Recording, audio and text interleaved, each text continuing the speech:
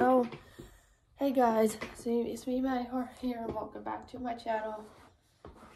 And today is Friday, April 1st, 2022, and I have a bad, a sad announcement.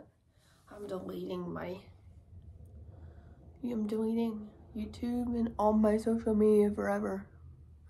You don't know why, the reason why I'm deleting my YouTube channel and all my social media is because, forever, is because I'm going back to college on Monday and I don't have a lot of time to post all day, so, and I've been really busy, but I'm on spring break.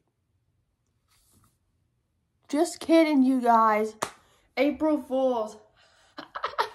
yep, I got you guys. I will never delete my YouTube channel or all my social media accounts. And I will never do that. Happy April Fool's Day. And, yep, I'm sorry for pranking you guys, but it is what it is, right? So, happy April Fool's Day, and I hope you guys have a good day, and hope you guys enjoy your rest of your spring break if y'all still on spring, spring break. And I'll see you guys in my next video.